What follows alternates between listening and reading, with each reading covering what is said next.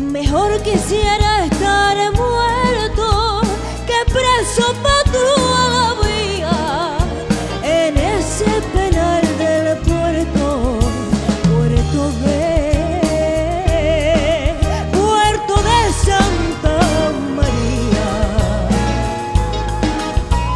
Centinela,